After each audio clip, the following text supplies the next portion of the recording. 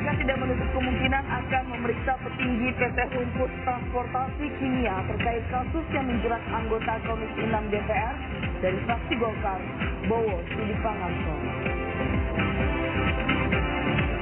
Ketua KPU Agus Budiman mengingatkan kepada calon legislatif untuk tidak melakukan serangan fajar jelang hari pemungutan suara.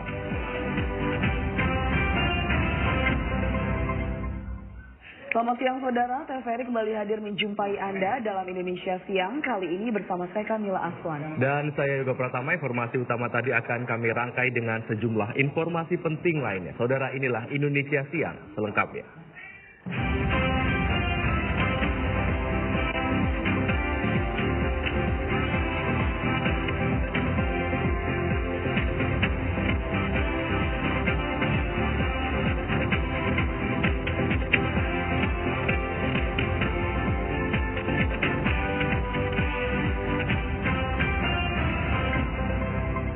Ya, kami awali Indonesia Siang, Saudara Komisi Pemberantasan Korupsi memastikan akan segera memeriksa pihak-pihak yang diduga mengetahui atau terkait dengan kasus dugaan suap kerjasama pengangkutan yang menjerat anggota Komisi 6 DPR RI, fraksi Partai Golkar, Bowo Sidik Pangarso. Berikut informasinya.